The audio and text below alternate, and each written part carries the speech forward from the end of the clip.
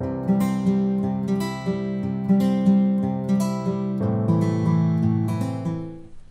my name is Sheryl Cattell and welcome to today's LinkedIn Minute.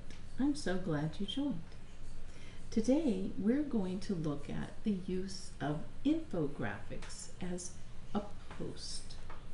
So what I recommend you do is to hop on over to Canva, my favorite place, and go ahead, if you don't have an account, sign up for a free account on the platform. All you have to give them is your email address, and after that, it's all up to you.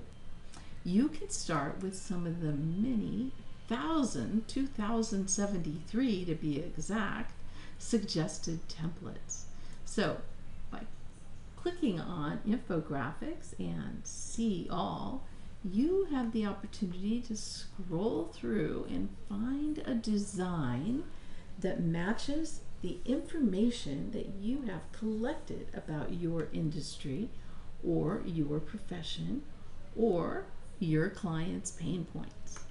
Now, one thing I do want to recommend is if you can, try to stay away from the ones that have the little crowns on them. Those are the pay, paid subscribers. You have to be a Canva Pro. But you don't need to because there are literally thousands available that you don't have to pay for. So once you find one that sort of matches the kind of data you have, then you can click on it and edit it to make it your own. So you can see that they have some that are two, three, four slides, and this is an infographic with a slideshow. All right, so once you have that, then hop on over create a post and you can add a photo. So your infographic would be a photo in this case. Uh, let me show you, for example, one that I did, and this is using a template on Canva.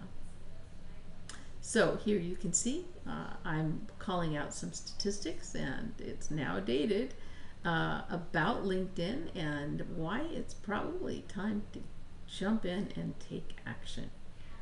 All right, well, that's it for today's LinkedIn Minute. Don't forget to subscribe on YouTube to be notified of every new edition.